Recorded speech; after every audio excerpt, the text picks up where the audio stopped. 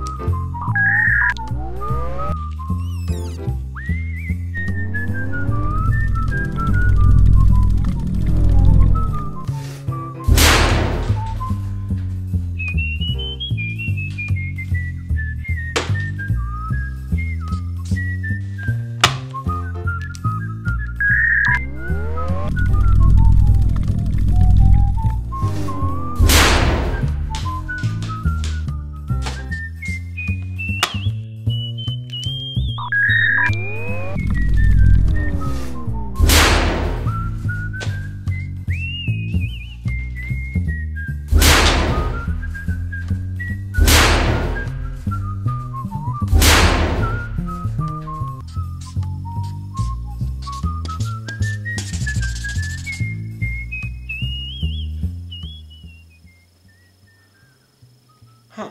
That's different.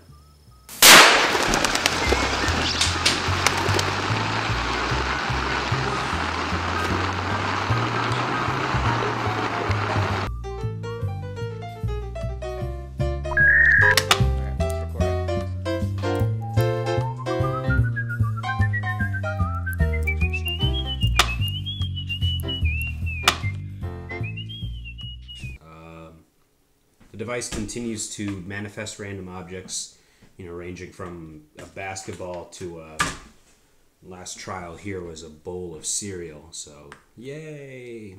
Nobel Prize, here I come. Um, research will resume tomorrow, hopefully producing something more successful. Sure to produce a sort of